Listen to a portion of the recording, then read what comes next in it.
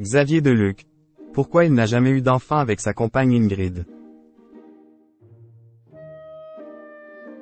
En ce samedi 18 mars, Xavier Deluc, célèbre acteur de la série Section de recherche, fête son 65e anniversaire. L'occasion de revenir sur sa belle histoire d'amour avec Ingrid, avec laquelle il n'a malheureusement jamais réussi à avoir d'enfant.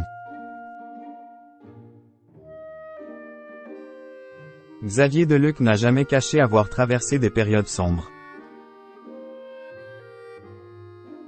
Après une enfance passée rose en Normandie, selon ses propres dires, il s'est retrouvé propulsé sous les projecteurs au début des années 80. Une voie empruntée presque par hasard et qui lui a valu une véritable descente aux enfers. Je me sentais en décalage avec ce qu'on me proposait. J'avais l'impression qu'il fallait être un bad boy pour exister. À ce moment-là, je me suis perdu dans les excès. Les soirées, la drogue, l'alcool, les femmes. J'ai failli me brûler les ailes, avait reconnu en toute sincérité le héros de section de recherche dans les colonnes de gala. Ce qui l'a sauvé c'est surtout une rencontre, celle avec elle église de Scientologie, dont le plus célèbre ambassadeur n'est autre que Tom Cruise. Selon les dires de l'interprète du capitaine Martin Bernier, cette religion l'a aidé à sortir de l'enfer de la drogue. La scientologie m'a permis de me comprendre moi-même et de connaître, avec ma vraie famille, une harmonie que je n'avais pas.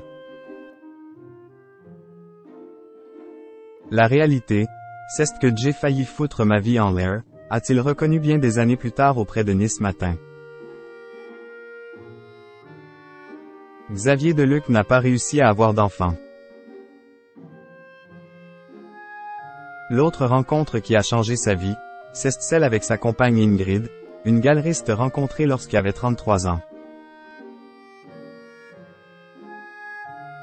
32 ans plus tard, alors qu'elle fête en ce samedi 18 mars son 65e anniversaire, elle est toujours auprès de lui, contre vent et marée.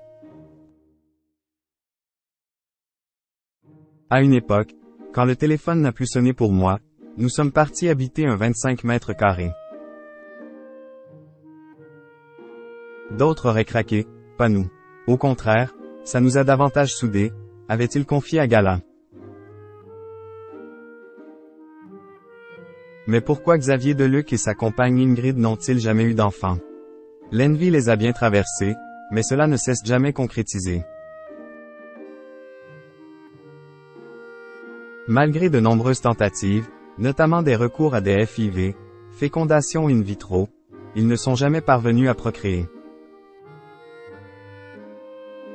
Ce qui n'a pas empêché l'acteur de devenir un second papa pour Mélodie, la fille que sa compagne a eue avant lui.